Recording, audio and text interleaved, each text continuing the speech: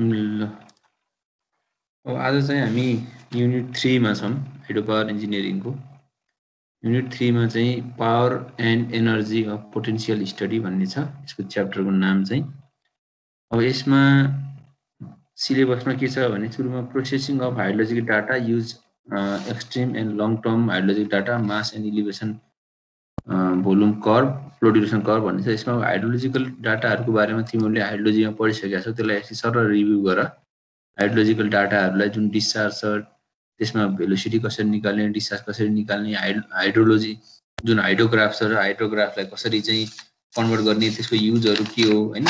त्यसले चाहिँ हामीले चाहिँ डिफ्रेन्ट हाइड्रो पावर कम्पोनेन्टहरू डिजाइन गर्दाखेरि के के कुराहरू ख्याल गर्नुपर्छ भन्ने कुरा हाइड्रो हाइड्रोलोजीमा पनि छ त्यो सर हेरेर त्यसलाई अनि त्यसपछि अर्को यो फ्लो ड्युरेसन कर्भ अनि मास कर्भ अनि त्यसपछि लोड कर्भ भन्ने कुरा हेरौँला यहाँ। अर्को यो हेडको बारेमा छ हामीले ग्रस हेड र नेट हेड भनेको के हो? अनि त्यो यो हेड इस्टिमेसन भन्ने जुन यसमा कसरी गर्ने भन्ने छ होइन? अनि त्यसपछि अनि reservoir and their regulation need of regulation, source of sediment, sediment yield in reserve, reserve reverse, sed, uh, sediment handling life of the reservoir भन्ने छ रिजर्भर भन्ने बित्तिकै हामीले के बुझ्छौँ त भन्दा जुन फ्लो भएर गएको वाटरलाई सर्टेन केही चाहिँ प्रोटेक्सन गरेर त्यो भनेको के हो त ड्याम अथवा ब्यारेज बनाएर हामीले रिजर्भरलाई कुनै ठाउँमा कुनै एउटा चाहिँ एरियामा चाहिँ कलेक्ट गरेर राख्छौँ। होइन? त्यो ताल ताल जस्तै हुन्छ ठुलो। त्यो त्यो त्यहाँ हुँदाखेरि के हुन्छ त भन्दा रिभरबाट आएको सेडिमेन्ट भन्ने बित्तिकै के हो त भन्दा सानसाना पार्टिकलहरू बालुवाहरू तिनीहरू के हुन सक्छन् भन्दा थुप्रेर बस्न सक्छन्। त्यो थुप्रेर बस्ने भने के हो त भन्दा त्यो कलेक्ट हुँदै हुँदै हुँदै सेडिमेन्ट हुँदै हुँदै रह्यो भने लेयर लेयर लेयर बन्दै जान्छ। त्यसले के गर्छ त भन्दा डेप्थ अफ वाटर घटाउँछ। डेप्थ अफ वाटर घटाउनु भन्नुको अर्थ के हो त भन्दा क्यापासिटी अफ रिजर्भर भनेको in terms of volume of water collection होइन? भोल्युम अफ वाटर कलेक्सन त के हुन्छ त भन्दा जति हामीले सुरुमा चाहिँ कलेक्ट गरेर बस्थ्यौँ। पछि त त्यो लेयर लेयर यदि सेडिमेन्ट लेयरहरू बन्दै जाने हो यदि फ्लसिङ नगर्ने हो भने त्यसले के गर्छ त भन्दा रिजर्भरको चाहिँ त्यो क्यापासिटीलाई घटाउँछ। रिजर्भर क्यापासिटी भन्ने बित्तिकै त्यो भोल्युम हो है त्यो कुरा ख्याल गर्नु पऱ्यो। हो त्यो क्यापासिटी घटाउँछ। त्यो क्यापासिटी घटाउनु भन्नुको अर्थ के हो त भन्दा डिस्चार्ज घटाउने। डिस्चार्ज घट्ने बित्तिकै के हुन्छ? अल्टिमेटली पावर पनि के हुन्छ? घट्छ। हो त्यो भएर त्यसलाई हामीले कसरी चाहिँ ट्रिटमेन्ट गर्ने होइन? त्यो सेडिमेन्टहरूलाई कसरी चाहिँ मिनिमाइज गर्ने त्यो कुराको बारेमा हामीले यसमा पढ्छौँ। अनि त्यसपछि method of fixing install capacity of hydro power plant भन्ने छ। अब इन्स्टल क्यापासिटी भन्ने बित्तिकै के हुन्छ त भन्दा हामीले जुन पावर इकोनोमिकल्ली जेनेरेट गर्छौँ त्यसलाई हामी त्यो त्यो क्यापासिटीलाई हामीले इन्स्टल क्यापासिटी भन्छौँ। र त्यो इन्स्टल क्यापासिटी कसरी फिक्स गर्ने त डिफ्रेन्ट हाइड्रो पावरमा कसरी चाहिँ हामीले फिक्स गरेर अप्टिमाइजेसन गर्ने? अप्टिमम भन्नु खोजेको के हो त भन्दा इकोनोमिकल्ली पनि भाइबल हुनु पऱ्यो। इकोनोमिकल्ली भाइबल कसरी गराउने भन्ने कुराको बारेमा हामीले यो थ्री पोइन्ट फोरमा पढ्छौँ। त्यस्तै estimation of power and energy potential यो कुरा हामीले सुरुको फर्स्ट च्याप्टरमा पढिसक्यौँ। भन्न खोजेको power equals to efficiency gamma Q भन्ने जुन छ हामीले kinetic energy half m v स्क्वायरलाई चाहिँ त्यसपछि हामीले चाहिँ त्यो भीको value root over two g s भनेको चाहिँ हामीले बर्लिन प्रिन्सिपल लगाएर जुन power equals to efficiency gamma q s लगाएको थियौँ ल्याएको थियौँ हो त्यो पावर इस्टिमेसन गर्ने चाहिँ यो अथवा इस्टिमेसन अफ पावर अथवा इनर्जी पोटेन्सियल भनेको त्यही हो। त्यहाँ गएर हामीले पढिसकेका छौँ यसलाई चाहिँ फेरि त्यहाँ गएर हेर्दा पनि हुन्छ। त्यो भनेको मैले काइनेटिक एनर्जी गरेँ। नभए कसैले चाहिँ म पोटेन्सियल एनर्जी गर्छु भन्छ भने एमजिएस लिएर गर्दा पनि हुन्छ। एमजिएस डिभाइडेड टाइम गरेर गर्दा नि m g s by time भनेपछि एम भनेको मास भनेको रो इन्टु भोल्युम रो भन्ने बित्तिकै रो इन्टु जी भनेको गामा भयो अनि भी बाई टी भनेको क्यु भयो इन्टु एच आइहाल्छ। त्यसैले त्यहाँबाट के आउँछ त? Power equals to efficiency gamma q s भन्न खोजेको। Kinetic energy divide by time गरे पनि पावर आउँछ। सम्झिनु है पावर इक्वस टु पावर भनेको के हो त? एनर्जी डिभाइडेड टाइम हो भनेपछि हामीले एनर्जी निकाल्दाखेरि के गर्नुपर्छ भन्दा? पावर कति छ? त्यो कति क्याप कति टाइमसम्म त्यो चाहिँ जेनेरेट गर्छ भन्दाखेरि पावर इन्टु टाइम भनेको के हो त? एनर्जी हो भन्ने कुरा थाहा पाउनु पऱ्यो। कुरा हामीले हेरिसकेका छौँ। त्यसपछि के छ भन्दा? यो लोडको बारेमा छ। लोड भनेको पनि त्यही डिमान्ड जस्तै हो। हामीलाई कति लोड चाहियो कति मेगावाट क्यापासिटीको लोड चाहिएको छ? त्यो पिक लोड मिन लोड बनाएको थियो त्यसो लोड कर्भ बनाएको थियो यो कुराको बारेमा हामीले यो युनिट थ्रीमा पढ्छौँ। अब यहाँनिर हामीले के हो त भन्दा पावर इस्टिमेसन गर्ने प्रोसेस हामीले जान्न पर्ने हुन्छ। एउटा रिभर हुन्छ रिभरमा बाह्रै महिना त पानी बगिरहेको हुन्छ। होइन? सधैँ चाहिँ इक्वल्ली त बग्दैन। त्यो हाइड्रोग्राफ अनुसार पनि हामीले निकाल्न सक्छौँ नि। हो भनेपछि हाइड्रोग्राफको युज कस्तो हुँदो रहेछ त भन्दा प्रत्येक महिनामा फ्लो हुने डिस्चार्जको भ्यालुलाई लिएर हामीले अब चाहिँ एउटा चाहिँ यहाँ फ्लो ड्युरेसन कर्भ प्लट गरेर त्यहाँबाट पावर इस्टिमेसन गर्छौँ। यदि हामीले चाहिँ त्यो रिभरको मात्रै चाहिँ क्यापासिटी हेऱ्यौँ तर यदि त्यो रिभरको फ्लोलाई यदि हामीले कुनै ड्याम अथवा ब्यारेज बनाएर त्यसलाई चाहिँ रिजर्भरको रूपमा काम कलेक्ट गरेर पानीलाई त्यो फर्दर युज गरिरहेका छौँ भने त्यसले गर्दाखेरि कस्तो खालको चेन्ज हुन्छ त? पावरमा कति चाहिँ इन्क्रिज अथवा चाहिँ डिक्रिज हुन्छ?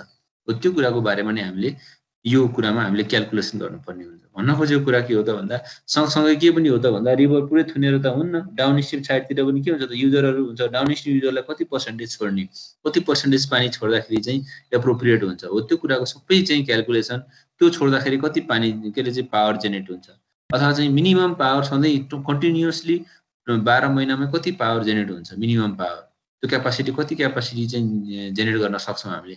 भन्ने कुराको बारेमा हामीले यहाँ पावर इस्टिमेसन गर्छौँ। अब भन्न खोजेको के हो त भने कुनै पनि रिभरको कति छ त इन्स्टल क्यापासिटी कति छ त त्यसको पावर भन्ने कुरामा हामीले यो च्याप्टरमा पढ्छौँ है? से मैले यसको चाहिँ ओभरभ्यू दिएँ। अब यसभित्र हामी चाहिँ अब हेड क्यालकुलेसन भन्ने छ। हेड इस्टिमेसन अथवा क्यालकुलेसन भन्ने थियो। ग्रस हेड भन्ने बित्तिकै के हो त भन्दा ग्रस हेड र नेट हेड हो। ग्रस हेड भनेको gross head is the differences in elevation between the water level of the forebay and tailrace भन्न खोजेको के हो त भन्दा यो gross head is the differences between elevation between water level on the forebay and tailrace भनेको जस्तै यो मानव यो फरवे छ अब यहाँ रिजर्भर हेर्दा पनि हुन्छ के फरक पर्दैन। रिजर्भरबाट लिँदा पनि हुन्छ फरवेबाट लिँदा पनि हुन्छ पुरै एउटै फरवे भन्ने थियो मैले अस्ति कम्पोनेन्ट भनेको थिएँ नि जहाँबाट हामीले पेनस्टक पाइप चाहिँ स्टार्ट गर्छौँ।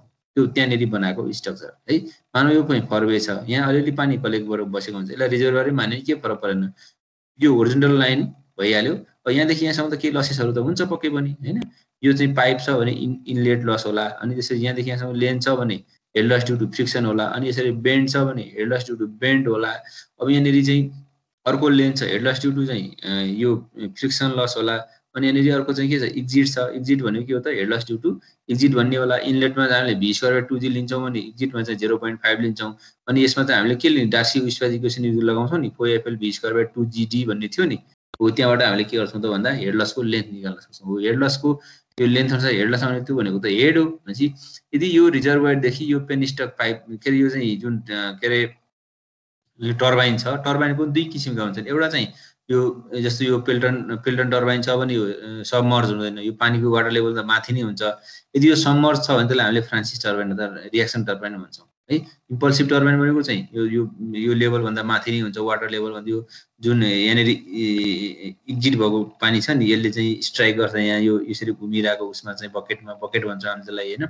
हो यहाँ यो यो लेभलभन्दा माथि हुन्छ टर्बाइन तर यहाँ के छ सबमर्स टाइपको छ नि पानी अलिक मान्छ यो यो यो टर्बाइनको अझै तलपट्टि छ यसलाई पछाडि डिसाइड गरौँ हामीले। फ्रान्सिस टर्बाइन के हुन्छ त यति बेला के हुन्छ यो सबमर्ज हुन्छ भनेपछि यो टर्बाइनको लेभलदेखि यसको चाहिँ जुन कर्वे अथवा चाहिँ रिजर्भको जुन हाइट छ त्यहाँसम्म टोटल हाइटलाई हामीले ग्रस हेड भन्छौँ।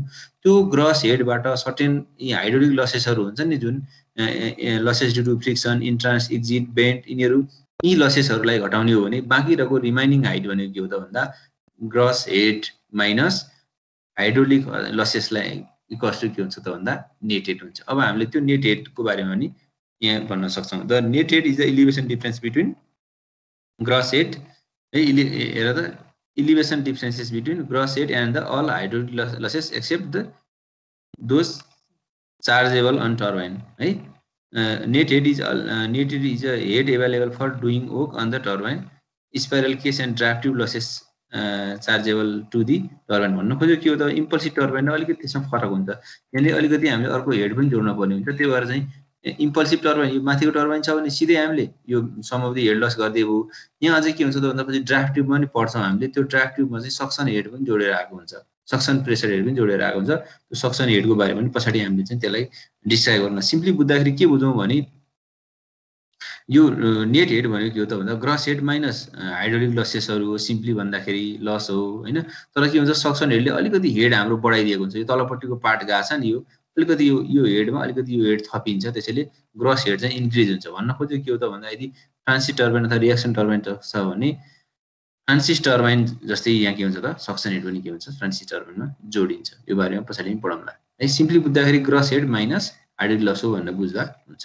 Total total head minus hydraulic loss भनेर बुझ्दा पनि हुन्छ। यसरी हामीले नेट हेड र ग्रस हेडलाई चाहिँ हामीले के गर्न सक्छौँ? क्लासिक क्लासिफिकेसन के अरे डिस्क्राइब गर्न सक्छौँ। अब यसमा म्याक्सिमम् हेड भन्ने बित्तिकै हामीले के बुझ्छौँ यो ग्रस हेड नै हो। म्याक्सिमम् हेड भन्ने बित्तिकै gross head it is the gross head computed from the differences in elevation between between for यो अगाडिकै कुरा हो है। यसको चाहिँ के हो त भन्दा म्याक्सिमम हेड भनेको नै के हो त? ग्रस हेड हो मिनिमम हेड भनेको के हो त? नेट हेड हो। है मिनिमम हेड भनेको हामीले डिजाइन डिजाइनको लागि लिने जुन नेट छ यसलाई हामीले चाहिँ नेट हेड अथवा चाहिँ मिनिमम हेड पनि भन्न सक्छौँ। त्यस्तै अर्को डिजाइन हेड भन्ने छ। यो के हो त भन्दा डिजाइन हेड भन्ने बित्तिकै चाहिँ यसले जुन सिन्क्रोनाइजेसन भएको चाहिँ स्पिडसँग जुन पिक इफिसियन्सी दिन्छ नि म्याक्सिमम् इफिसियन्सी दिने जुन नेट हेड छ त्यसलाई हामीले के भन्छौँ त भन्दा त्यो डिजाइन हेड भन्छौँ। जनरली सिम्पली भन्दाखेरि नेट हेड नै डिजाइन हो हेड हो भनेर बुझ्दा पनि हुन्छ। Usually it is the head difference between normal water level and minimum tail water level भनेको कुरा त्यही हो। अब पावर भन्नेदेखि पावर एस्टिमेसनमा हामीले पढिसकेका छौँ। पावर भनेको चाहिँ के हो त भन्दा इफिसियन्सी घाममा के हो। The electrical power generated from the hydro plant is the function of discharge and head भन्न खोजेको के हो त भन्दा यो इफिसियन्सी भइहाल्यो। होइन कति इफिसियन्ट छ। यो गामा भनेको युनिट वेट अफ वाटर भइहाल्यो। अनि यो डिस्चार्ज हेडको टर्ममा डाइरेक्टली प्रोपोर्सनल हुन्छ। पावर चाहिँ। यदि डिस्चार्ज बढाउने हो भने पावर पनि बढ्छ। हेड बढाउने हो भने के हुन्छ? पावर बढ्छ नै। दुइटै के हुन्छ त भन्दा directly proportional power is directly proportional to the discharge and discharge of the air water and head of elevation head है? त्यो कुरा चाहिँ ख्याल गर्नु। यो भनेको हाम्रो अब डिजाइन हेड हो भन्ने कुरा चाहिँ थाहा पाउनु पऱ्यो अब यसमा इफिसियन्सी भइहाल्यो यो भइहाल्यो डिस्चार्ज भयो। यसरी हामीले चाहिँ पावरलाई पनि डिस्क्राइब गर्न सक्छौँ। त्यस्तै होइन यो मेथड अफ इन्स्टल क्यापासिटीमा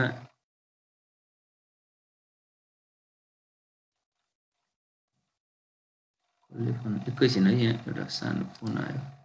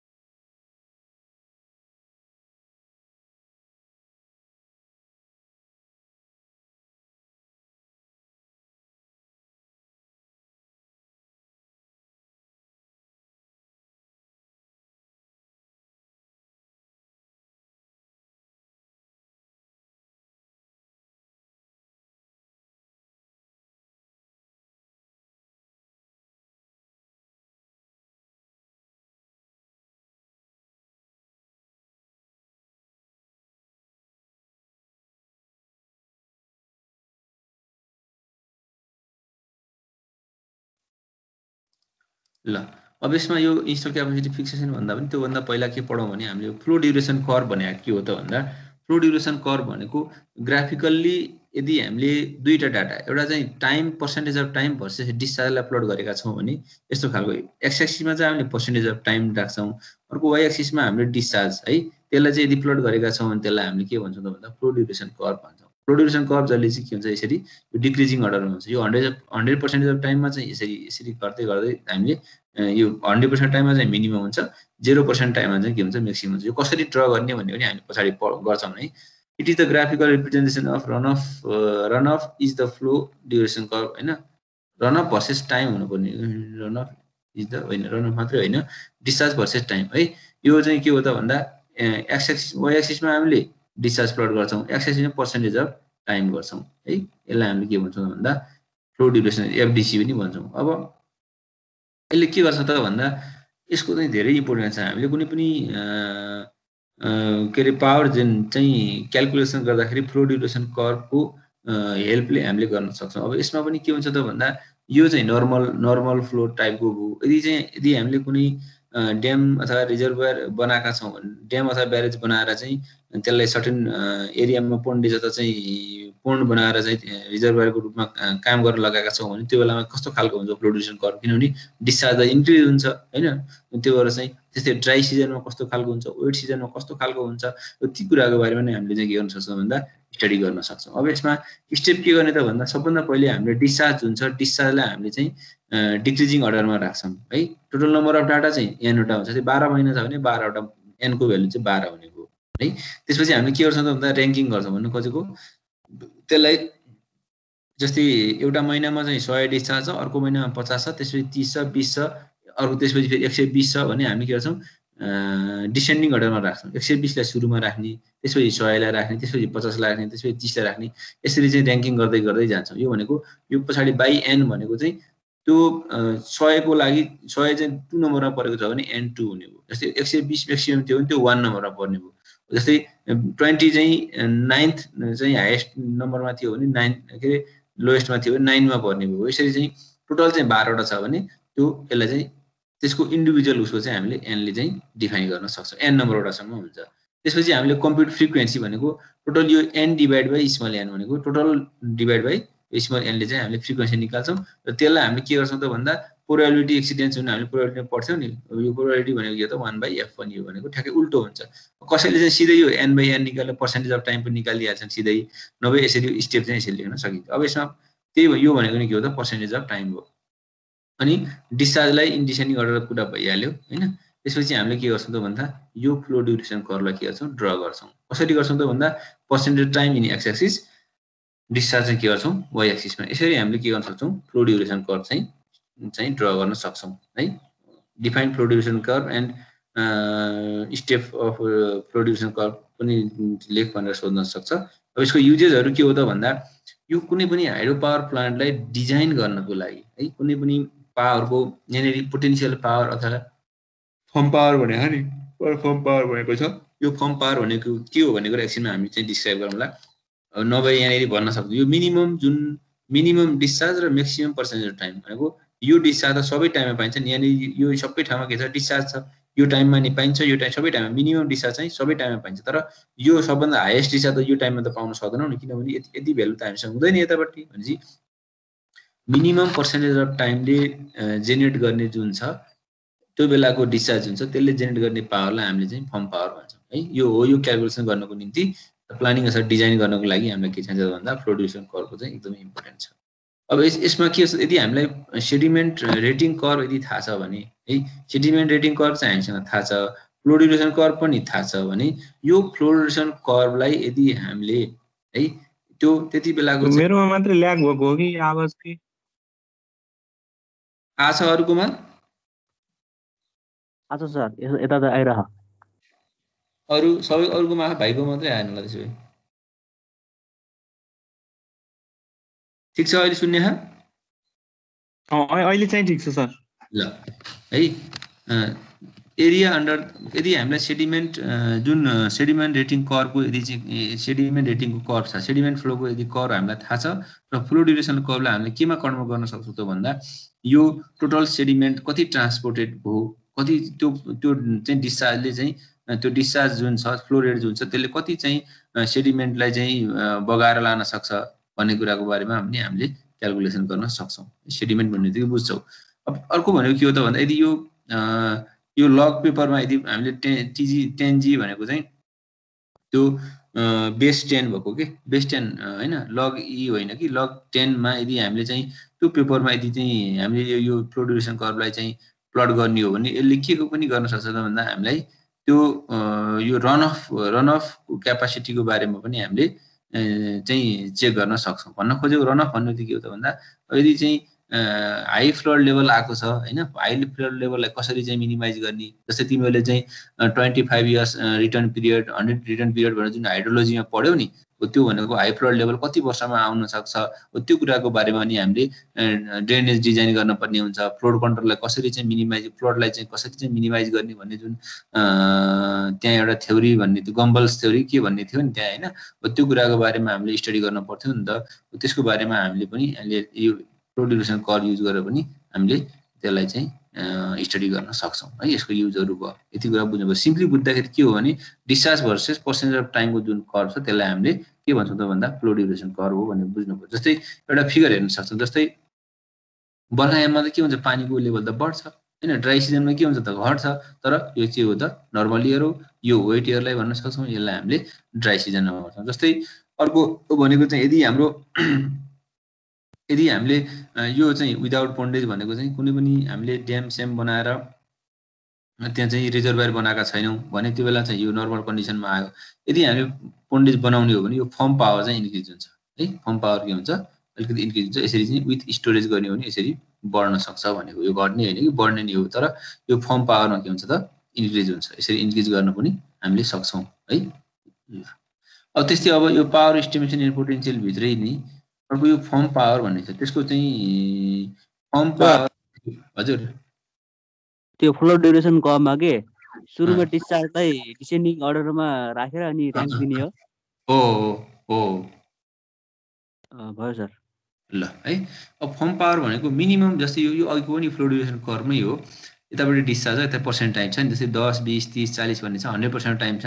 जुन मिनिमम फ्लो छ नि है यो यो मिनिमम फ्लो जुन छ त्यसले दिने जुन त्यसले जेनेरेट गर्ने पावर छ नि हो त्यसलाई हामीले के भन्छौँ भन्दा फर्म पावर अथवा प्राइमेरी पावर भन्छौँ। मिनिमम फ्लोले। त्योभन्दा एक्स्ट्रा छ भने जस्तै यो यो यो यो डिस्चार्ज मानौँ हामीले डिसेन्डिङ अर्डरमा राखेका थियौँ होइन यसरी यो यो यो डटर लाइन ल्याएर त यो विदाउट पोन्डेजलाई यो डटर लाइनलाई हेर्ने हो भने यो डिसेन्डिङ अर्डर राखेका थियौँ यहाँ चाहिँ हाम्रो डिस्चार्ज चाहिँ पाँच सय होला यो डिस्चार्ज दस छ भने त यो महिनामा त यो पाँच सयवालामा त दस त अलरेडी छ नि होइन भन्न खोजेको। हामीलाई चाहिएको मिनिमम दस हो भने यहाँ त पाँच सय छ पाँच सयमा त अलरेडी दस छ भनेपछि हो यो मिनिमम जुन पावर छ मिनिमम जुन डिस्चार्ज छ मिनिमम डिस्चार्ज तर म्याक्सिमम पर्सेन्ट टाइम भनेको हन्ड्रेड पर्सेन्ट टाइम भनेको चाहिँ ट्वेन्टी फोर आवर नै एभाइलेबल गर्न सक्छ। ट्वेन्टी फोर आवर नै हामीले त्यो पावर जेनेरेट गर्न सक्छौँ भनेको हो। मिनिमम डिस्चार्जले जेनेरेट गर्ने जुन पावर छ त्यसलाई हामीले के भन्छौँ? फर्म पावर भन्छौँ।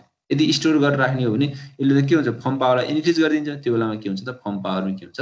इन्क्रिज हुनसक्छ स्टोरेज गर्दाखेरि चाहिँ। यो चाहिँ विदाउट स्टोरेज विदाउट पोन्डेज है? यहाँनिर मिनिमम पावर भनेको के हो त भन्दा के अरे फर्म पावर भनेको के हो? प्राइमेरी पावर भनेको के हो त भन्दा मिनिमम डिस्चार्जले जेनेरेट गर्ने पावरलाई हामीले के भन्छौँ? फर्म पावर भन्छौँ जुन चाहिँ ट्वेन्टी फोर आवर अथवा हन्ड्रेड पर्सेन्ट टाइममा नै एभाइलेबल हुन्छ भन्ने कुरा बुझ्नु पऱ्यो it is the maximum it is a maximum continuous power available from the plant on the most these reserve hydraulic condition भइहाल्यो। है यसरी चाहिँ डिस्क्राइब गर्न सक्छौँ। मिनिमम भइहाल्यो यो कुरा मैले भनिसकेँ। त्यसपछि अर्को भनेको त त्यसपछि अर्को भनेको सेकेन्डरी पावर भन्छौँ। यो फर्म पावर भन्दा बाँकीको जुन अरू पावर जेनेरेट भएको त्यसलाई हामीले फर्म पावर भन्छौँ। है के अरे सेकेन्डरी पावर भन्छौँ। त्यो भनेको टोटल पावरबाट हामीले प्राइमेरी पावर घटाउने बित्तिकै एन्सर आइहाल्छ। है higher firm power can be increase if storage reserve is provided यो भइहाल्यो। मैले भनिसकेँ अघि। Firm power corresponding to continuous twenty four hour भनेको मैले भने ट्वेन्टी फोर आवर नै हामीले एभाइलेबल हुन्छ हन्ड्रेड पर्सेन्ट टाइममा चाहिँ हामीले पाउन सक्छौँ भनेको। The firm power capacity realise realise minimum available storage यो भइहाल्यो के हुन्छ त भन्दा त्यो पिक लोड कति छ त्यो अनुसार चाहिँ हामीले के गर्न सक्छौँ त भन्दा यदि स्टोरेज पोन्डेज राख्ने कि नराख्ने भन्ने कुराको बारेमा नि यसले चाहिँ चाहिँ डिटर्माइन गर्न सक्छ भनेको डिफाइन गर्न सक्छ भनेको है। त्यस्तै सेकेन्डरी पावर भन्ने बित्तिकै जुन अघि हाम्रो जुन प्राइमेरी पावर छ किनभने डिस्चार्ज त आइरहेको हुन्छ यो महिनामा जस्तै टेन पर्सेन्ट अफ टाइममा त यहाँ त डिस्चार्ज त यो फर्म पावरले दिने प्लस अरू एक्स्ट्रा पनि हुन्छ नि। हो त्यो एक्स्ट्रा सहितकोलाई हामीले के भन्छौँ त भन्दा टोटललाई चाहिँ टोटल पावर भन्छौँ होइन? तर त्यो टोटल पावरबाट फर्म पावर घटाउने हो भने अथवा प्राइमेरी पावर घटाउने हो भने जुन रिमेनिङ पावर छ त्यसलाई हामीले के भन्छौँ सेकेन्डरी पावर भन्छौँ। जुन चाहिँ ट्वेन्टी फोर आवर एभाइलेबल नहुन सक्छ। जस्तै यहाँनिरको यो हाइटमा यो यो यो ट्वेन्टी पर्सेन्ट टाइममा आउने चाहिँ टोटल पावर त यतापट्टि त आउँदैन त। यतापट्टि हन्ड्रेड पर्सेन्ट टाइममा आउने त म्याक्सिमम् पावर त यति नै हो यो डिस्चार्जले दिने हो। तर के हुन्छ त भन्दा यहाँ पनि त पावर जेनेरेट त हुन्छ नि त अरू टाइममा नि। अरू टाइममा त किनभने डिस्चार्ज त बढी बढिरहेको हुन्छ। त्यसैले त्यो टोटल पावरबाट जुन फर्म पावर हामीले घटाउँछौँ त्यहाँ त्यहाँबाट बाँकी रहेको पावरलाई हामीले के भन्छौँ त? सेकेन्डरी पावर भन्छौँ। है?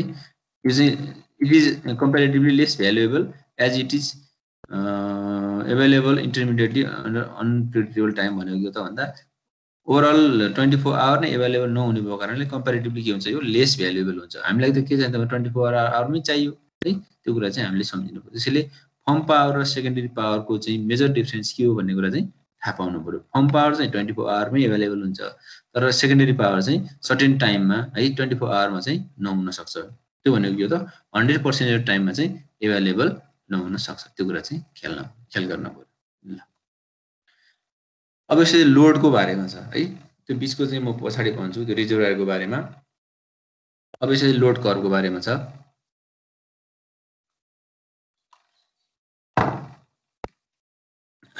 अब यसमा mean load peak load load curve load factor utilisation factor यिनीहरू छ। यो लोड टाइप्स अफ लोडमा जानुभन्दा पहिला हामी लोड कर भनेको के हो भन्ने कुरा बुझ्नु पऱ्यो। अघि हामीले discharge versus time plot plot गऱ्यौँ नि। अब पावर भर्सेस टाइम प्लट गरिदिने कि? पावर भर्सेस टाइम प्लट गर्दाखेरि आउने जुन हुन्छ नि daily variation in the load on the power station time to time यो त भइहाल्छ होइन? Plotted graph taking the X axis and load on Y axis भनेको जुन अघि हामीले percentage of time versus discharge गऱ्यौँ नि त्यो भनेको लोड के अरे फ्लो ड्युरेसन कर्भ हो। डिस्चार्ज छ भने फ्लो भयो पावर छ भने लोड कर्भ है त्यो कुरा चाहिँ ख्याल गरौँ। है अब यदि एक दिनको हामीले चाहिँ प्लट गर्ने हो भने त्यसलाई हामीले के भन्छौँ? डेली लोड कर्भ भन्छौँ। एक महिनाको चाहिँ गर्ने हो भने तिस दिन हुन्छ नि एक महिनामा त। नर्मल्ली त्यो तिस दिनलाई हेर्ने हो भने त्यसलाई हामीले के भन्छौँ? मन्थली लोड कर्भ भन्छौँ। अब यदि हामी एनुअल्ली चाहिएको हो भने प्रत्येक महिना महिनाको प्लट गर्न पऱ्यो होइन? त्यस्तो खालकोलाई हामीले के गर्छौँ त भन्दा त्यो ग्राफ जहाँ चाहिँ हामीले जस्तो त्यो डेली बिहानको टाइम बिहानको टाइममा जस्तै बाह्र बजीदेखि दुई बजीसम्म दुई दुई घन्टाको इन्टरभलमा यसले चाहिँ प्लट गरेको छ। कुन बेलामा कति चाहिँ लोडको डिमान्ड छ भनेको लोड कति चाहिएको छ यो किलोवाटमा अनि यतापट्टि चाहिँ टाइम। अब यसरी प्लट गरेको छ भने एक दिनको चौबिस घन्टाको यदि प्लट गरेको छ भने त्यो चाहिँ के भयो त? डेली लोड कर्भ हो होइन?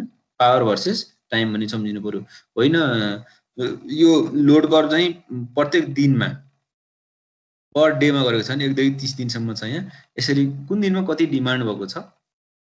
त्यो अनुसार प्लट गरेका छौँ भने हामीले त्यो जुन ग्राफ छ त्यसलाई हामीले के भन्छौँ? मन्थली लोड कर्भ भन्छौँ। अब त्यो अब मन्थको पनि होइन हामीले महिना महिनाको मात्रै चाहियो भनेपछि प्रत्येक महिना महिनालाई यदि प्लट गर्ने हो भने वैशाखदेखि चैत्रसम्मको जुन यो लोड पावर कति डिमान्ड छ जस्तै यहाँ हेरौँ मङ्सिरमा बढी रहेछ यहीँ मङ्सिरमा बढी डिमान्ड बढी चाहिँ चाहिएको रहेछ होइन? त्यस्तै वैशाखमा कम चाहिएको रहेछ। यस्तो खाले जुन प्लट गर्छौँ त्यसलाई हामीले के भन्छौँ त भन्दा इयरली जुन प्लट गरेका छौँ त्यसलाई के अरे मन्थली जुन प्लट गरेका छौँ प्रत्येक मन्थको त्यसलाई हामीले इयरली अथवा एनुअल लोड कर पनि भन्न सक्छौँ। है त्यो कुरा चाहिँ ख्याल गरौँ। ल। अब यसमा अर्को भनेको यसको केही इन्फर्मेसन छ? अब variation of the load different hour of day variation भइहाल्छ। प्रत्येक दिनमा त्यति नै बराबर चाहिँ हामीले युज गर्छौँ भन्ने छैन। किनभने रात परे चाहिँ हामीले चाहिँ हामीलाई पावर चाहिन्छ। दिउँसो त किन चाहियो? र हामीले जस्तै बत्ती बाल्ने कुरामा त दिउँसो बाल्दैनौँ नि त होइन? तर रातिमा के हुन्छ? बत्ती बाल्न पर्ने हुन्छ। एउटा कुरा अर्को चाहिँ खाना पकाउने टाइममा सबैले यदि इलेक्ट्रिक इक्विपमेन्टहरू इलेक्ट्रिक एप्लाइन्सेसहरू युज गरेको छ भने त खाना पकाउने टाइममा त डिमान्ड बढी हुने अरू बेलामा त के हुन्छ त्यो त्यो त्यो खाना पकाउँदाखेरि लाग्ने चाहिँ पावर त त्यो अरू बेलामा त युज हुँदैन। हो त्यति बेला के हुनसक्छ डिमान्ड के हुन्छ हाई हुनसक्छ। हो त्यसले के हुन्छ त त्यो भेरिएसन चाहिँ दिइरहेको हुन्छ। Area below the curve significant total consumption त्यो मुनिपट्टिको एरिया हामीले के गर्छौँ त पावर इन्टु टाइम जुन छ नि अघि हामीले भन्यौँ नि power into time power equals to के हो त इनर्जी डिभाइडेड टाइम हो भने इनर्जी भनेको के हो त पावर इन्टु टाइम हो भनेपछि पावर भर्सेस टाइम है जुन भर्सेस जुन हामीले प्लट गरेका छौँ त्यसको मल्टिप्लाई गर्ने हो त्यो त्यो एरियाले के डिफाइन गर्छ त भन्दा एनर्जी गर्छ। किनभने पावर इन्टु टाइम भनेको एनर्जी दिन्छ नि त्यसैले त्यसले के गर्छ त कति कन्ज्युम्सन हामीले कति युनिट कन्ज्युम गऱ्यौँ कति एनर्जी हामीले खपत गऱ्यौँ त्यसको बारेमा चाहिँ के दिन्छ त्यो एरियाले चाहिँ डिफाइन गर्न गर्छ। त्यस्तै peak of the curve stand for maximum demand मैले अघि भने नि जुन टाइममा हामीले बढी चाहिएको छ लोड त्यो बेला हामीले के भन्छौँ पिक पिक लोड अथवा चाहिँ मेक्सिमम लोड पनि भन्छौँ। है मेक्सिमम लोड भनेको के हो त पिक लोड हो पिक डिमान्ड हो त्यो कुरा चाहिँ हामीले बुझ्न पऱ्यो है? अब त्यस्तै अब यो पिक डिमान्ड है? अब अरू कुराहरू सर हेर। अब यसमा जस्तो हाइएस्ट डिमान्ड भने नि highest demand in the day is called peak load भनेको। पिक लोड भनेको एक दिनमा चाहिएको म्याक्सिमम् डिमान्ड जुन अहिले साँझ पख भन्यौँ नि हामीले जस्तो अगाडिको लोड करमा थियो नि जस्तो यहाँ लोड करमा छ नि यो। कति बेला टाइममा भन्दा यहाँनिर लगभग हेर्ने हो भने यो छदेखि यो चारदेखि छ पिएम रहेछ। है चारदेखि छ पिएममा चाहिँ म्याक्सिमम् रहेछ। यो लोड कर्भलाई हेर्ने हो भने यस्तै दसदेखि बाह्र बजीसम्म अर्को म्याक्सिमम् रहेछ। यो भनेको पिक हो। पिक जुन छ त्यसलाई हामीले पिक लोड अथवा पिक डिमान्ड पनि भन्न सक्छौँ। है त्यसलाई त्यसरी डिस्क्राइब गर्न सक्छौँ। त्यस्तै बेस्ट लोड भनेको मिनिमम लोड है मिनिमम लोड एक दिनको चाहिँ मिनिमम लोड जुन छ त्यसलाई हामीले के भन्छौँ? बेस्ट लोड भन्छौँ। अब एभरेज लोड भनेको मन्थली लोड यसमा बेस्ट लोडको बारेमा भयो एभरेज लोड भनेको average load define as average consumption over over a defined time period भनेको कुन टाइम जस्तै अघि टु टु आवरमा हामीले प्लोड गरेका छौँ अथवा चाहिँ एउटा एउटा कुनै लोड कर्भ छ. त्यसको पिक लोड पनि छ बेस्ट लोड पनि छ. एभरेज कति हो त नि? त्यसको हामीले एभरेज पनि निकाल्न जान्न पर्ने हुन्छ। है? त्यसलाई चाहिँ हामीले एभरेज जुन डिमान्ड छ एभरेज अथवा डिमान्ड अथवा कन्जम्सन भन्ने कुरा एउटै हो। त्यसलाई त्यसरी डिस्क्राइब गर्न सक्छौँ। है? अब यो it is obtain from the ratio area under the load curve and time भइहाल्यो रेसियो अन्डर भइहाल्यो अनि त्यसपछि कनेक्टेड लोड भनेको the sum of continuous rating of all electrical equipment connected by supply system is known as connected load जस्तै maximum demand भन्ने कि अहिलेको जुन म्याक्सिमम् डिमान्ड भनेको कुनै पनि पर्टिकुलर टाइममा कुनै पनि लोड करमा म्याक्सिमम् जुन हाइट छ म्याक्सिमम् जुन डिमान्ड छ त्यसलाई हामीले के भन्छौँ? म्याक्सिमम् डिमान्ड भन्छौँ। त्यो हाइएस्ट डिमान्ड भनेको नै के हो त? पिक लोड हो। है यसलाई हामीले त्यसरी डिफाइन गर्न सक्छौँ। जनरली यो चाहिँ वान पोइन्ट थ्री थ्री जुन मिन जति एभरेजको चाहिँ one point three three times बढी लिन्छ त फोर बाई थ्री टाइम्स भन्ने नि भयो one by three three times चाहिँ हामीले बढी लिन्छौँ है। त्यो कुरा चाहिँ ख्याल गर्नु पऱ्यो यो एरिया अन्डर भने कस्तो हो भने जस्तो यहाँनिर छ नि यो फ्लो ड्युरेसन करमा हेर त यो फ्लो ड्युरेसन करमा चाहिँ यो डिस्चार्ज छ यो टाइम छ नि। अनि यदि यो मुनिपट्टिको एरिया हेर्ने हो यसले भोल्युम दिन्छ कि किनभने डिस्चार्ज इन्टु टाइम भनेको त के हो त? भोल्युम हो। किनभने हामीले volume equals to sorry volume into time भनेको के हुन्छ? डिस्चार्ज आउँथ्यो है? त्यसरी पनि हामीले डिटर्मिन गर्न सक्छौँ। है? भोल्युम डिभाइड बाई टाइम भनेको डिस्चार्ज हो भने डिस्चार्ज यो यो एरियाले चाहिँ के हुन्छ? भोल्युम डिफाइन गर्छ भन्नु खोज्यो अब यसमा अर्को भनेको यो यो मिक्सन डिमान्ड भयो। अब यसपछि हामीले अर्को भनेको डिमान्ड फ्याक्टर है। अब यो अलिकति केही रेसियोहरू छ। It is define as the ratio of actual maximum demand on the system to the total related rated load connected to the system भन्न खोजेको चाहिँ डिमान्ड फ्याक्टरलाई हामीले के भन्न सक्छौँ भन्दा म्याक्सिमम् डिमान्ड बाई कनेक्टेड जुन लोड थियो सबै इलेक्ट्रिकल एप्लायन्सेसहरू युज गरेर जुन कन्जम्सन हामीले निकालेका थियौँ त्यसको जुन क्यापासिटी छ त्यसले डिभाइड गर्ने बित्तिकै के आउँछ त भन्दा त्यो डिमान्ड फ्याक्टर आउँछ त्यो सधैँ के हुन्छ demand factor always less than one हुनुपर्छ है। त्यस्तै एभरेज लोड अथवा एभरेज डिमान्ड भनेको के हो त भन्दा एभरेज लोड अथवा एभरेज डिमान्डलाई हामीले कसरी डिफाइन गर्न सक्छौँ भन्दा कुनै पनि एउटा चाहिँ लोड कर्भ दिएको छ त्यसको म्याक्सिमम् पनि हुन्छ मिनिमम पनि हुन्छ। हो त्यसको एभरेजलाई हामीले के भन्न सक्छौँ? एभरेज लोड अथवा एभरेज डिमान्ड भन्न सक्छौँ। अब यदि हामीले डेली लोड कर्भलाई हेरेका छौँ भने डेली भयो त्यसलाई। यदि मन्थली हेरेका छौँ भने मन्थली भयो एनुअल्ली हेरेका छौँ भने त्यसलाई हामीले एनुअल्ली भन्न सक्छौँ। अब यसमा के हो त भन्दा जस्तै डेली छ भने एक दिनमा होइन कति किलोवाट आवर यो भनेको एनर्जी कति चाहिँ कन्जम्सन भयो डिभाइड बाई चौबिस घन्टाले डिभाइड गर्ने बित्तिकै आउँछ एभरेज लोड आइहाल्छ। अब महिनामा छ भने के हुने भयो त भन्दा एक महिनामा कति सप्लाई भयो होइन? इन अ मन्थ हुनुपर्ने इन अ डे भयो sorry in month divide by twenty four into thirty भयो। त्यसै इयरमा हो भने यहाँ इयर सबै डे डे भएछ कपी गर्दाखेरि यो इयर हो। इयर डिभाइड बाई चौबिस घन्टा इन्टु तिन सय पैँसठी दिनले डिभाइड गर्न सक्छौँ यसलाई म करेक्सन गरेर पठाउँला। अब अब अलिकति फ्याक्टरहरूको बारेमा छ। लोड फ्याक्टर भनेको के हो त भन्दा अब यसमा हामीले load फ्याक्टरलाई average load divided maximum demand जुन छ यो रेसियोलाई है। एभरेज लोड डिभाइडेड म्याक्सिमम डिमान्डको जुन रेसियो छ त्यसलाई हामीले के भन्छौँ? Load factor load factor maximum one हुनसक्छ। त्यो वान हुने भनेको त्यो यो चाहिँ एभरेज लोड चाहिँ म्याक्सिमम डिमान्डसँग बढी बढी बराबर हुनुपर्छ। त्यो कन्डिसन त आउँदैन किनभने जहिले पनि के हुन्छ म्याक्सिमम डिमान्ड अलवेज के चाहिँ ग्रेटर देन एभरेज लोड हुन्छ। हो त्यसको कन्डिसनमा के हुन्छ त भन्दा यो फ्याक्टर के हुन्छ लेस देन वान नै हुन्छ। त्यो कुरा चाहिँ हामीले ख्याल गर्नु पऱ्यो भन्न खोजेको के हो त भन्दा एक दिनमा चाहिने एक सय कुनै एउटा चाहिँ टाइममा बेलुकाको टाइममा एक सय बिस मेगावाट चाहिएको छ भने दिनभरि एक सय बिस त चाहिन्न नि त। एभरेज लोड अलवेज के हुन्छ लेस देन म्याक्सिमम डिमान्ड हुन्छ। So that the load factor is always less than one त्यो कुरा ख्याल गर्नु पऱ्यो फर्मुला सम्झिनु पऱ्यो है। भनेको लोड फ्याक्टर भनेको average load divide by maximum demand हो भन्ने कुरा बुझ्नु पऱ्यो है त्यसलाई एनर्जीको रूपमा लिने हो भने चौबिस घन्टामा कति एनर्जी चाहिँ कन्ज्युम भएको छ? चौबिस घन्टाहरूको माथि यताबाट लेखेको छौँ नि एभरेज डेली लोड भनेको छौँ divide by maximum demand into twenty यसलाई पनि हामीले के गर्नु? एनर्जीमै लानु पऱ्यो नि। एनर्जी छ भने एनर्जी नै हेर्नु पऱ्यो लोड छ भने लोड नै हेर्नु पऱ्यो है। त्यसरी हामी लोड फ्याक्टर डिफाइन गर्न सक्छौँ। त्यस्तै क्यापासिटी फ्याक्टर भनेको हामीले कसरी डिमान्ड गर्छौँ भने क्यापासिटी फ्याक्टरलाई प्लान्ट फ्याक्टर पनि भन्छ। प्लान्ट युज फ्याक्टर भनेको छ भने अर्को चिज हुन्छ फेरि त्यो ख्याल गरौँ। प्लान्ट फ्याक्टर भनेको छ भने average load divided plant capacity है? म्याक्सिमम् लोड होइन कि त्यसको प्लान्टको क्यापासिटी कति छ? त्यसले चाहिँ डिभाइड गर्ने बित्तिकै आउँछ त भन्दा हामीले क्यापासिटी फ्याक्टर चाहिँ अथवा चाहिँ प्लान्ट फ्याक्टर चाहिँ डिटर्मिन गर्न सक्छौँ है? अनि त्यस्तै क्यापासिटी यसलाई एनर्जीको रूपमा लिँदा पनि हुन्छ। एनर्जी रूपमा लिने हो भने यो actual energy produced by the plant होइन एभरेज एभरेज जस्तै भयो अनि maximum energy divide of the plant गर्ने बित्तिकै पनि आउँछ सर है? अर्को डाइभर्सिटी फ्याक्टर भनेको के हो त भन्दा यो the sum of the individual maximum demand सम्झौँ है sum of the maximum maxim individual maximum demand all consumer connected to a power station is always greater than the maximum demand on install installation भइहाल्यो। यसलाई हामीले कसरी चाहिँ भन्छौँ त भन्दा the ratio of maxi individual maximum demand भने यहाँ है म्याक्सिमम डिमान्डकै चाहिँ म्याक्सिमम डिमान्ड बाई समथिङ भन्ने चाहिँ ग्रेटर देन वान हुन्छ नि। The ratio of maximum individual maximum sum of the individual maximum demand of all consumers supplied by the power station to the simultaneous maximum demand is called यो भनेको यहाँ त some र divide by कुनै एउटा त्यसको चाहिँ म्याक्सिमम डिमान्ड भनेको के हुन्छ त? डाइभर्सिटी फ्याक्टर हुन्छ त्यो चाहिँ के हुन्छ? अलवेज ग्रेटर देन वान हुन्छ। है त्यो कुरा ख्याल त्यो पढौँ।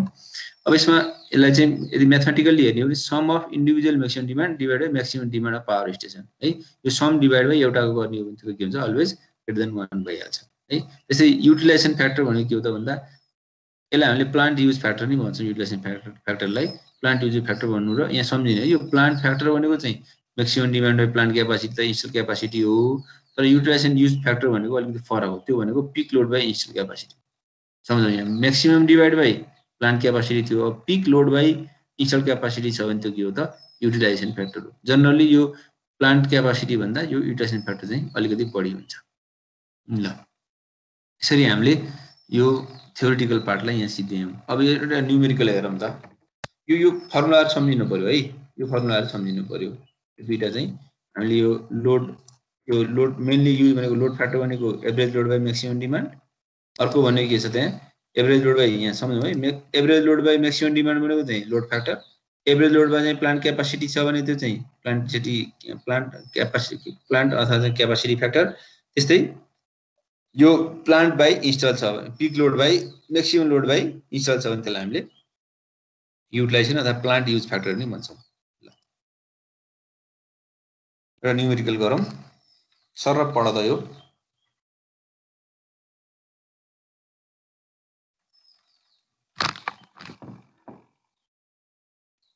यसको चाहिँ मैले गराउन खोजेको के हो त भने अहिलेका जुन हामीले रेसियोहरू पढ्यो नि जुन फर्मुलाहरू पढ्यो त्यसलाई एउटा सिम्पल न्युमेरिकल गरेर नि डिटर्माइन गर्न सकिन्छ भनेको the load on hydro power plant varies from minimum चाहिँ फिफ्टिन मेगावाट छ टु फोर्टी फाइभ मेगावाट भने चाहिँ अब एभरेज निकाल्न सक्नु पऱ्यो मिनिमम पनि थाहा छ म्याक्सिमम थाहा छ भने एभरेज भनेको minimum plus maximum by two गर्न डिभाइड टू गर्न सकिन्छ है।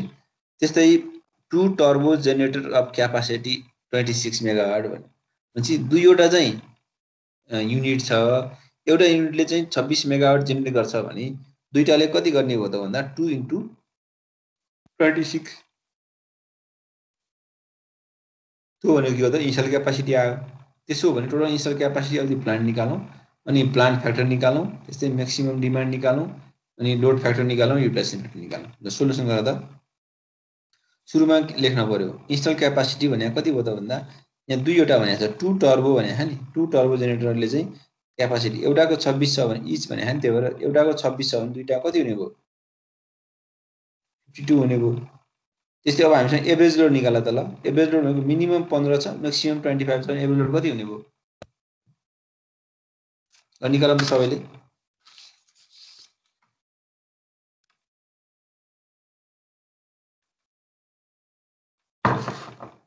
कति आउँछ? Average load sir. थर्टी आयो होइन? यो भनेको कति भयो? थर्टी भयो। अब त्यसपछि अब हामीले टोटल इन्स्टल क्यापासिटी पनि निकाल्यौँ। अनि त्यसपछि हामीले के गर्यौँ? प्लान्ट फ्याक्टर निकाल्यौँ। प्लान्ट फ्याक्टर भनेको के हो? लोड फ्याक्टर भनेको के हो? म्याक्सिमम डिमान्ड त भइहाल्यो। म्याक्सिमम डिमान्ड त कति छ? फोर्टी फाइभ मेगावाट छ होइन? यसको चाहिँ load on hydro power forty five यो भइहाल्यो। लोड फ्याक्टर अनि युटिलाइजेसन फ्याक्टर लोड फ्याक्टर सबभन्दा पहिला लोड फ्याक्टर निकालौँ त। लोड फ्याक्टर भनेको के हो त? लोड फ्याक्टर भनेको average load by peak load हो। निकालौँ त ल। एभरेज लोड भनेको चाहिँ कति भयो?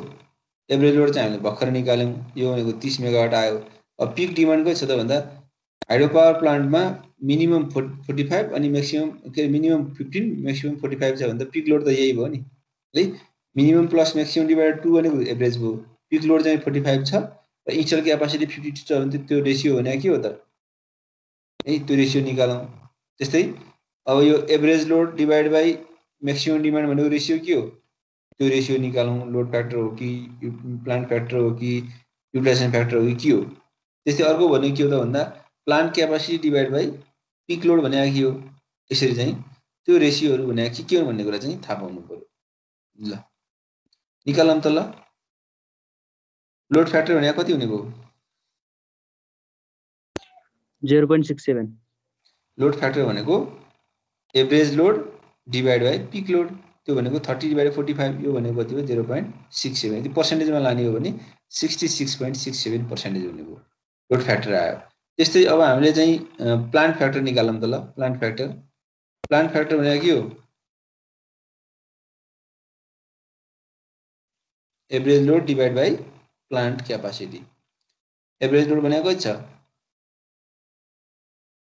थर्टी छ त्यो प्लान्टको इन्स्टल क्यापासिटी कति छ? फिफ्टी टू छ। म्याक्सिमम डिमान्ड त भइहाल्यो। Average output of the plant divide plant capacity भयो। यहाँबाट fifty divide thirty divide by fifty two भयो। अब बाँकी रह्यो भनेको चाहिँ युटिलाइजेसन फ्याक्टर हो। युटिलाइजेसन फ्याक्टर भनेको के हो? Peak load divide by install capacity peak load कति छ? फोर्टी फाइभ छ। होइन? Forty five divide by fifty two गरौँ। त्यहाँबाट निकाल। यति आउँदो रहेछ। यसले फर्मुला चाहिँ सम्झिनु पऱ्यो कि? है? सिम्पल एउटा क्यालकुलेसन हामीले गर्न सक्छौँ यसरी। यो खासै यस्तो खालको सोध्नु त सोध्दैन तैपनि यो लोड भनेको के हो भन्ने कुरा थाहा पाउनु पऱ्यो र यो क्वेसन सर र पढ त। के खोजे एन्सर निकाला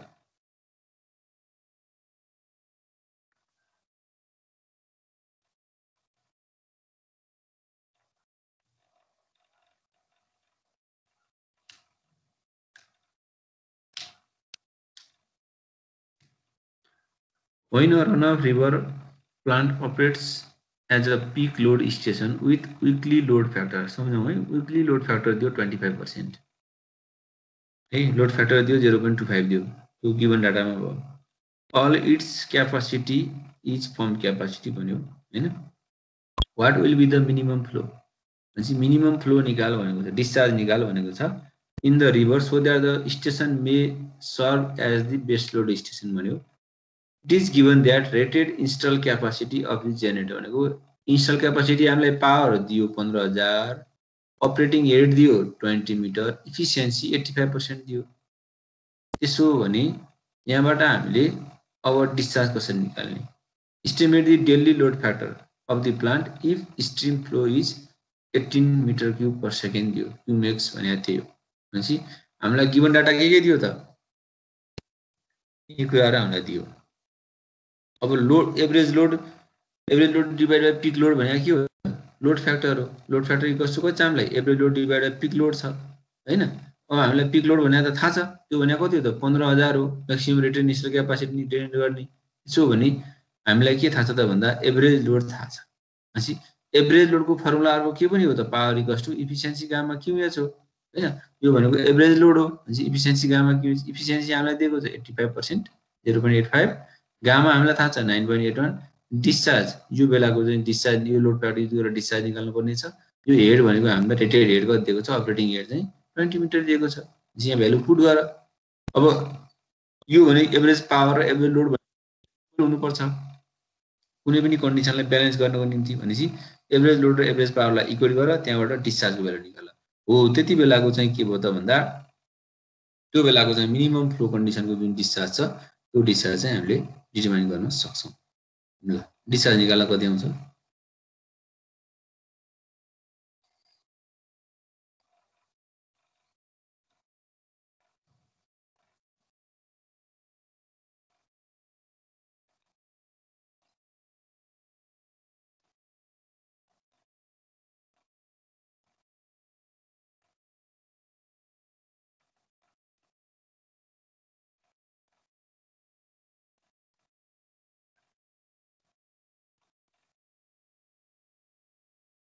कति आयो डिस्चार्ज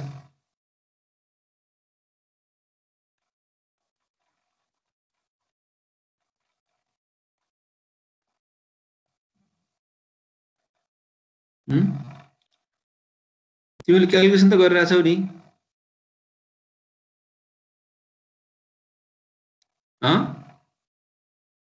सर यो वान सिक्स सिक्स लास्टको बुझाइदिनु यता राइट साइडको राख न यहाँ इफिसियन्सी गामा किमेज राख? यो आएको बुझेनौ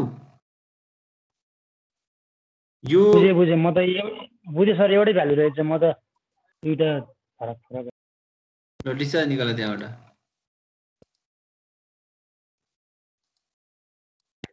Twenty two point four eight आउँछ sir.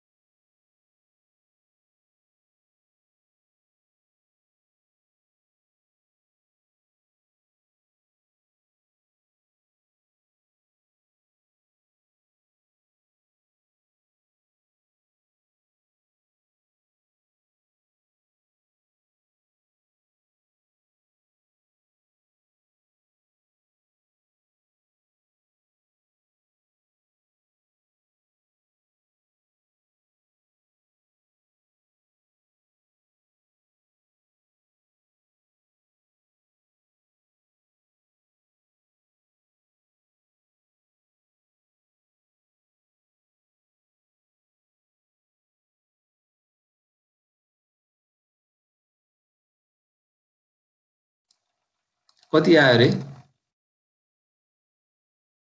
twenty two point four eight आयो 20.4 यति डिस्चार्ज चाहिँ जेनेरेट हुँदो रहेछ। तर यदि हामीलाई त्यो डिस्चार्जको भ्यालु कम थियो भने कति हुन्छ होला भने खाने हेर त। अब यो यदि डिस्चार्ज एट्टिन थियो भने के निकाल ठ्याक्कै उल्टो प्रोसेसमा जाउँ अब। अब यो भ्यालु यो ठाउँमा हामीले के राख्नु पर्यो? यदि डिस्चार्ज एट्टिन हुँदाखेरि पावर कति जेनेरेट हुन्छ त? एभरेज एभरेज पावर त्यो डिटर्माइन गर्ने। एभरेज पावर थाहा छ? भनेपछि पिक लोड त हामीलाई थाहा छ। होइन पिक लोड भनेको कति हो त? पन्ध्र हजार किलोवाट हो भनेपछि यदि eighteen metre cube per second थियो भने एभरेज लोड कति हुने भयो त? इफिसियन्सी गामा क्युएस निकालौँ र एभरेज लोड निकालौँ। पिक लोड त हामीलाई पन्ध्र हजार किलोवाट छँदैछ भनेपछि अहिले आएको एट्टिन मिटर क्युब पर सेकेन्डले दिने एभरेज लोड डिभाइड बाई यो म्याक्सिमम् क्यापासिटी कुन छ? त्यो पिक लोडले डिभाइड गर्ने बित्तिकै के आउँछ त भन्दा डेली लोड फ्याक्टर आइहाल्छ। डेली लोड फ्याक्टर डिटर्माइन गर भनेको छ। ल निकाल्दा कति आउँछ?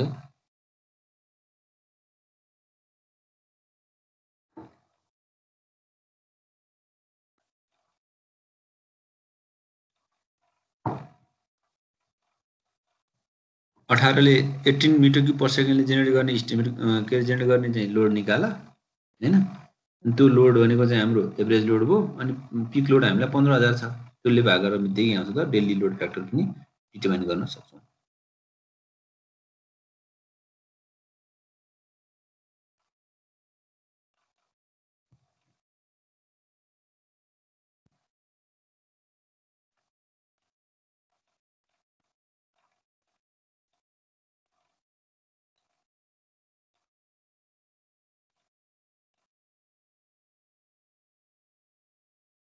कति आयो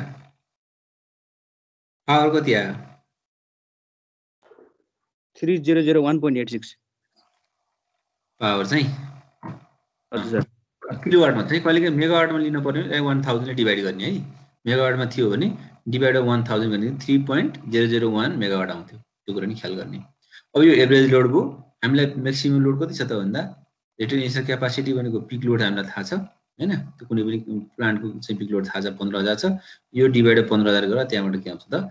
डेली लोड फ्याक्टर आउँछ। अब यहाँनिर भन्न खोजेको के हो भने हामीले एभरेज लोड फ्याक्टर के अरे लोड फ्याक्टर चाहिँ कसरी डिटर्माइन गर्ने भन्ने प्रोसेस सिकाउन खोजेको हो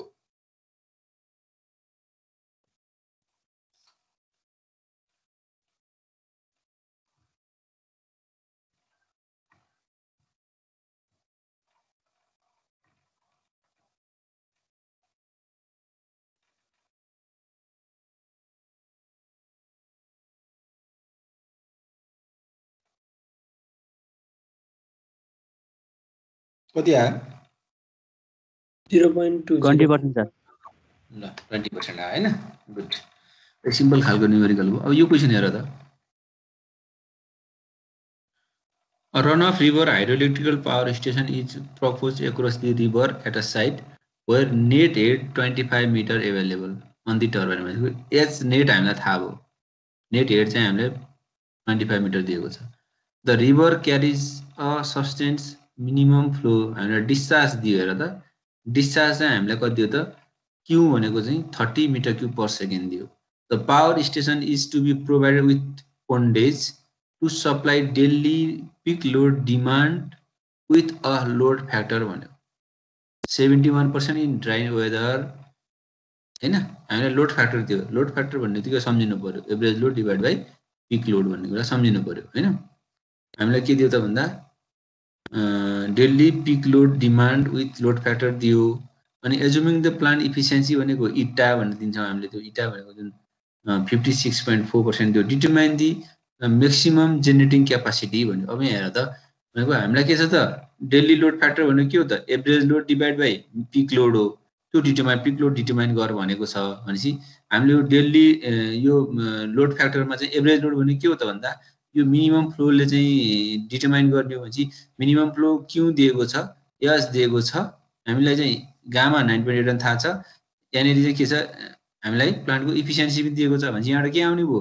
एभरेज लोड आउने भयो। त्यो एभरेज लोड इन्टु यो seventy one zero point seven one percent गर्ने बित्तिकै के अरे? गर्ने बित्तिकै के आउँछ त? के अरे सरी के अरे यो यो लोड फ्याक्टर भनेको चाहिँ average load divide peak peak maximum demand peak load हो। पिक लोड इक्वल्स के हुने हो त भन्दा? यो थर्टीले दिने जुन लोड छ त्यो divide zero point seven one zero point seven one गर्ने बित्तिकै आउँछ त? हामीले त्यसको चाहिँ के निकाल्न सक्छौँ त? पावर अथवा चाहिँ म्याक्सिमम् लोड चाहिँ डिटर्माइन गर्न सक्छौँ। निकाल्दा कति आउँछ?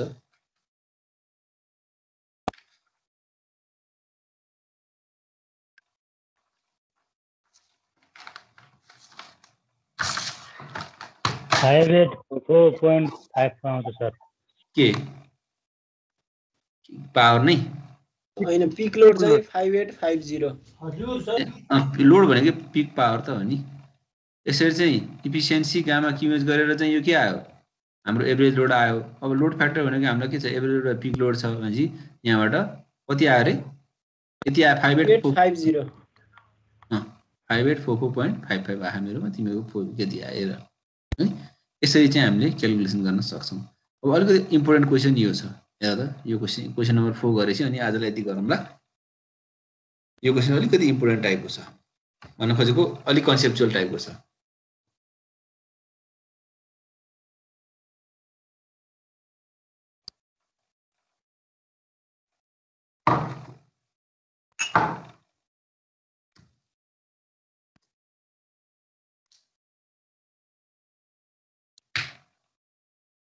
इफ रन अफ रिभर सम्झौँ रन अफ रिभर भनेको ट्वेन्टी फोर आवरमै पानी बग्ने खालको होइन? Twelve twelve मन्थमै hydroelectric plant is use as a peak load plant भन्यो। भनेपछि पिक लोड प्लान्टको रूपमा युज गर्ने हो भने त पिआरआर बनाउनु पऱ्यो नि। पिआरआर बनाउने भने के हो त त्यहाँ?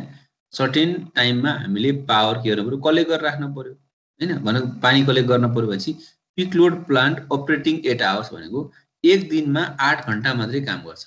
भन्न खोजेको एक दिनमा आठ घन्टाको रूपमा मात्रै हामीले के गर्नु पऱ्यो त? पिक लोड छ भनेको। आठ घन्टा चाहिँ म्याक्सिमम लोड चाहिँदो रहेछ। Determine the firm capacity of the plant without pondage or storage number option one भनेको यदि हामीले त्यहाँ कुनै ड्याम स्याम बनाएन कति पा चाहिँ पावर जेनेरेट हुन्छ निकाल भनेको त्यो भनेको इफिसियन्सी गामा क्युमेज गरेर आइहाल्यो। होइन? With pondage if river has minimum flow Q दियो twelve metre cube per second दियो हेड दिएको छ बाह्र मिटर त्यो प्लान्टको इफिसियन्सी दिएको छ एट्टी फाइभ पर्सेन्ट भनेपछि हामीलाई यदि कुनै पनि त्यहाँ पोन्डेज नगरिकन कुनै पनि चाहिँ ड्याम अथवा ब्यारेज नबनाइकन यदि पावर जेनेरेट गर्ने भने कति आउँदो रहेछ त भन्दा मिनिमम फ्लो बाह्र छ हेड बाह्र छ अनि इफिसियन्सी एट्टी फाइभ छ भने पावर इक्वस टु के हो त? इफिसियन्सी गामा क्युएस त्यो भनेको चाहिँ विदाउट पोन्डेज के? पोन्ड नबनाइकन कति आउँदो रहेछ निकाल त ल। एउटा पोन्ड नबनाइकन अर्को चाहिँ विथ पोन्डेज चाहिँ गर्दाखेरि कति आउँछ डिटर्माइन गर भनेको छ। विदाउट पोन्डेज त हामीले इजिली निकाल्न सक्छौँ। अब त्यो विथ पोन्डेजको कन्सेप्ट चाहिँ म बनाउँला ल। सोल्युसनमा जाऊँ। गिभन यो प्यारामिटर दिएको छ।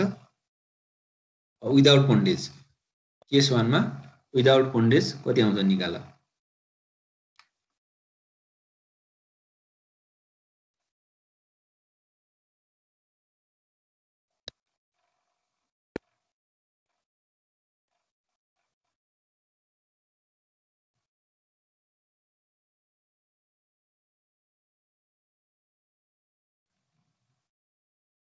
बाह्र सय आउँछ सर बाह्र सय पोइन्ट बाह्र सय point seven four four kilowatt आयो अब यहाँनिर हेर त अब यहाँनिर आठ घन्टा पिक आवर भनेको के हो त भन्दा हामीलाई आठ घन्टामा चाहिँ म्याक्सिमम् डिमान्ड चाहियो। एक दिनमा कति घन्टा हुन्छ भन त? कति आवर हुन्छ? चौबिस। चौबिस हुन्छ। आठ घन्टा हामीलाई चाहिँ म्याक्सिमम् डिमान्ड चाहियो। एउटा खोलामा बाह्र मिटर क्युब पर सेकेन्ड पानी बगिरहेको थियो। त्यसलाई हामीले चाहिँ आठ घन्टा मात्रै युज गर्छौँ र बाँकी घन्टा के गर्ने हो भन्दा स्टोर गरेर राख्नु पऱ्यो नि त। पोन्डेज भने त्यही त हो नि। कति घन्टा स्टोर गऱ्यौँ भन त ल अब। सोह्र घन्टा। सोह्र घन्टा हामीले स्टोर गर्नु पऱ्यो। स्टोर गरेको पानीलाई कति घन्टामा सप्लाई गर्नुपर्छ भन त? आठ घन्टामा।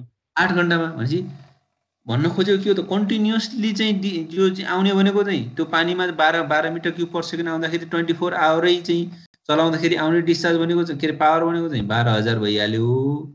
अब यदि हामीले त्यसलाई एट आवरको चाहिँ पिक आवर पिक आवर मानेर यदि पोन्डेज गर्न थाल्ने हो भने हामीले चाहिँ के गर्छौँ त भन्दा सोह्र घन्टामा चाहिँ के गर्छौँ? पानी जम्मा गर्न पर्ने भयो। कुन पानीलाई भन्दा? बाह्र मिटर क्युब पर सेकेन्डको पानीलाई सोह्र घन्टामा जम्मा। किनभने आठ आवरमा पिक आवर छ भनेपछि अब त्यो सोह्र घन्टामा कति पानी जम्मा भएको छ? जम्मा हुने पानीलाई डिफाइन गर्ने केले हो त भन्दा डिस्चार्जले त होइन। केले हो त भन्दा भोल्युमले हो नि। होइन? त्यो भोल्युमले हो कति पानी जम्मा कति भोल्युम पानी जम्मा भयो सोह्र घन्टामा? त्यसलाई सप्लाई गर्ने कति घन्टामा हो? आठ घन्टामा हो।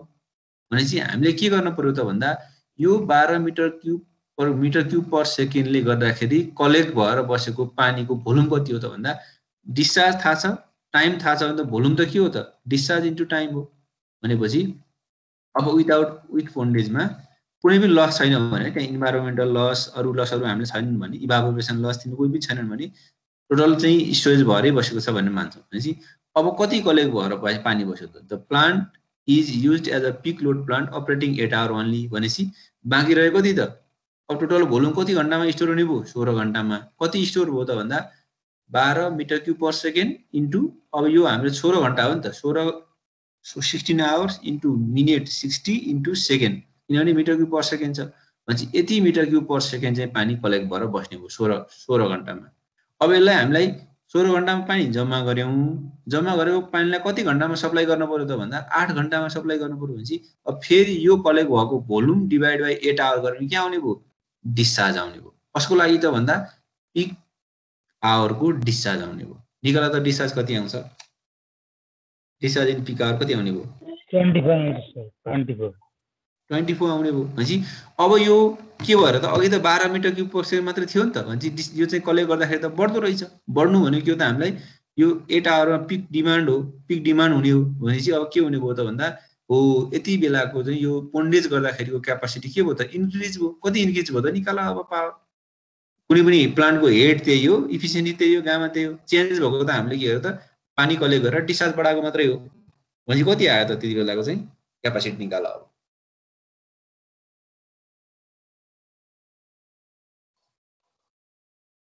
कति आयो power?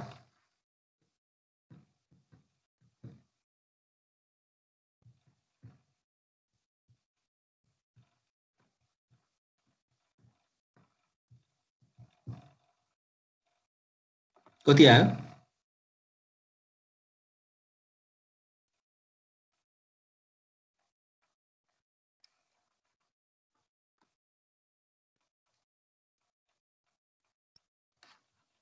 Twenty four zero one two four zero one हो, दुइटै जोड्नु पऱ्यो डिस्चार्ज जोड्नु पऱ्यो नि फेरि यो त हामीले कलेक्ट गरेको नर्मल त छँदैछ नि अथवा यसो गरे नि हुन्छ अहिले तिमीले डिस्चार्ज जुन पावर निकाल्यो त्यो पावर प्लस अगाडिको यो ट्वेन्टी फोर आवरमा आउने पावर जोडे नि हुन्छ केही फरक पर्दैन है यसरी के हुन्छ त टोटल फर्म पावर चाहिँ विथ पोन्डेज यति आउने भयो यो त यो बाह्रलाई सोह्र घन्टामा कलेक्ट गर्ने चाहिँ चौबिस मिटर क्युब पर सेकेन्ड भयो इनिसियल्ली चाहिँ पानीमा त्यो खोलामा आइरहेको पानी त बाह्र मिटर क्युब पर सेकेन्ड त छँदैछ नि। यो बाह्र प्लस चौबिस गरेको कुरा बुझ्यो बुझिएन? बुझ्यो सर। है इनिसियल्ली आएको त छँदैछ नि त। त्यसलाई चाहिँ हामी जम्मा गरेको जम्मा गरेको पो चौबिस आयो त। जम्मा गरेकोलाई आठ घन्टामा सप्लाई गर्दा पो चौबिस आयो। तर इनिसियल्ली चाहिँ कन्टिन्युसली आइरहेको त बाह्र छँदैछ नि। त्यसो गरे नि हुन्छ। यो चौबिसले दिने पावर निकालेर माथिको प्लस बाह्र गरे जोडेर गर्दा नि हुन्छ। बाह्रले दिने पावर जोड्दा नि हुन्छ केही फरक पर्दैन एउटै कुरो हो है? ल। आजलाई हामी यत्तिकै के त्यो आठ घन्टामा बाह्र सय दिन्छ भने अब सोह्र घन्टामा चाहिँ त्यसको डबल। दिन्छ नि। त। भन्ने गर्नु पाइन्न कस्तो कस्तो रे? आठ घन्टामा बाह्र सय आछ होइन?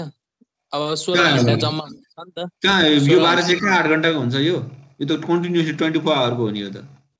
यहाँ तालै बनाएनौँ नि हामीले रिजर्भ बनाएकै छैनौँ नि यो त। एउटा खोला छ खोला कन्टिन्युसली बगिरहेछ त्यसले दिने पावर हो बाह्र सय भनेको त।